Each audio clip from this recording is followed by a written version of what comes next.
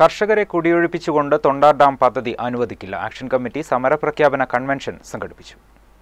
നൂറുകണക്കിന് കുടുംബങ്ങളെ കുടിയിറക്കിയും കർഷകരുടെ കൃഷിഭൂമി നശിപ്പിച്ചും നിർദ്ദിഷ്ട തൊണ്ടാർ ഡാം പദ്ധതി നടപ്പിലാക്കാൻ അനുവദിക്കില്ലെന്ന് ഇടവക തൊണ്ടർനാട് വെള്ളമുണ്ട ഗ്രാമപഞ്ചായത്തുകളിലെ പദ്ധതി പ്രദേശത്തെ ജനങ്ങളുടെയും രാഷ്ട്രീയ സാമൂഹിക സാംസ്കാരിക നേതാക്കളുടെയും സംഗമം പ്രഖ്യാപിച്ചു.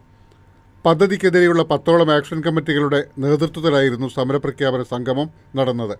ജനസാന്ദ്രത കൂടിയ ഈ പ്രദേശം കൃഷിക്ക് ഏറെ അനുഗുണമാണെന്നും പ്രളയഭീഷണിയോ വന്യജീവികളുടെ ബുദ്ധിമുട്ടോ ഇല്ലാത്ത ഈ പ്രദേശത്ത് ഇത്തരം വൻകിട പദ്ധതി ഒരു നിലയ്ക്കും അംഗീകരിക്കാൻ കഴിയില്ലെന്നും സമരപ്രഖ്യാപന സംഗമം അംഗീകരിച്ച പ്രമേയം ചൂണ്ടിക്കാട്ടി. കാർഷിക വൃത്തി മാത്രം ഉപജീവനമായ ഈ പ്രദേശങ്ങളിൽ ഇത്ര വലിയൊരു പദ്ധതി ജനജീവിതം ദുസ്സഹമാക്കും. ജനങ്ങൾ ഏറെ ആശങ്കയിലാണ്. നിലവിൽ വയനാട്ടിൽ രണ്ട് വൻകിട ജലസേചന പദ്ധതികളുണ്ട്. ഇന്നുവരെ കർഷകർക്ക് ഈ രണ്ട് ഡാമുകളിൽ നിന്നും വെള്ളം ലഭ്യമായിട്ടില്ല. ഇനിയും വലിയൊരു ജലസേചന പദ്ധതി ഭൂമിക്ക് താങ്ങാൻ കഴിയുമോ എന്ന പ്രാഥമിക പരിസ്ഥിതി പഠനം പോലും നടത്താതെയാണ് അധികൃതർ പദ്ധതി പ്രവർത്തനങ്ങളുമായി മുന്നോട്ട് പോകുന്നത്.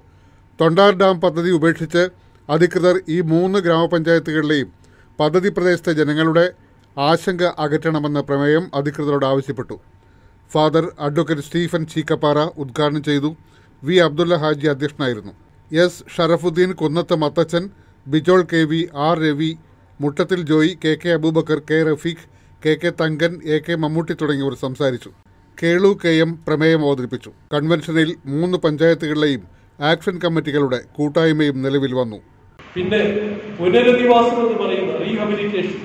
നമ്മളിത് സ്ഥലം ഏറ്റെടുത്ത് കഴിയുമ്പോൾ അവരെ വേറൊരു സ്ഥലത്ത് കൊണ്ടുപോയി പുനരധിവസിപ്പിക്കാം എന്ന് പറയുന്ന കാര്യം കേരളത്തിൽ മാത്രമല്ല ഇന്ത്യയിൽ ഒരു സ്ഥലത്തും ഇന്നു വരെ ന- ശരിയായ തൃപ്തികരമായ രീതിയിൽ ചെയ്യാനായിട്ട് ആർക്കും കഴിഞ്ഞിട്ടില്ല. വിജിത് വയനാട് വിഷൻ വെള്ളമുണ്ട.